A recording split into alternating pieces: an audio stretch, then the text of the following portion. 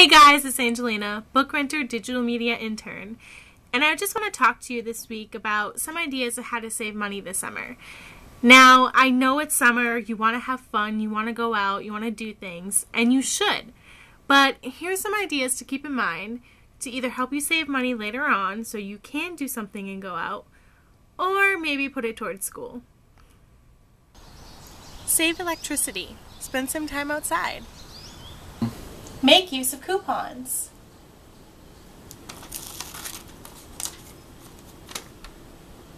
Carpool.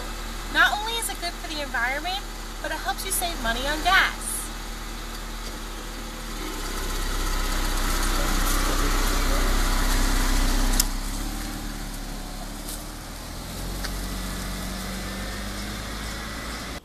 Buy in bulk and know that you don't always have to buy brand name items.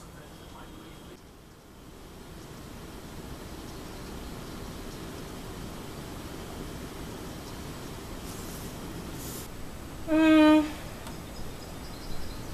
Unless you really need it, don't buy it. If you don't already have one, try to open a savings account. All the interest, even though maybe not so much, will definitely accumulate along the way. So, those are my tips and my tricks. I know that there's tons more out there. So, please leave a comment below. Please let me know what you do to save money. And thanks. Until next week.